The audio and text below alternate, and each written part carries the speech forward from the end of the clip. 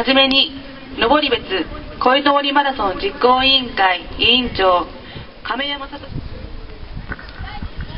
おはようございます、えー本日はどうも参加していただきありがとうございます、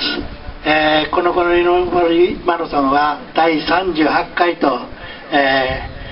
ー長きにわたって、えー皆さん選手の皆さんに参加していただきましています、えーこの子ののぼり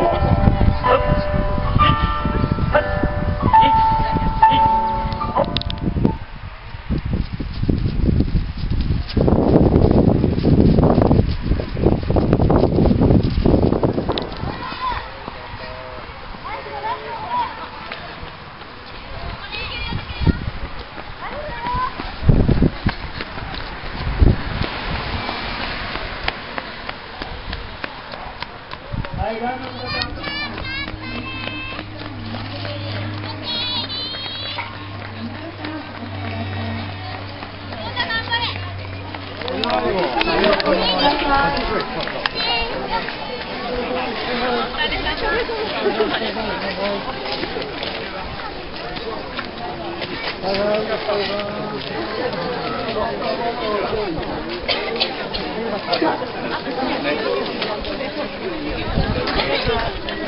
ん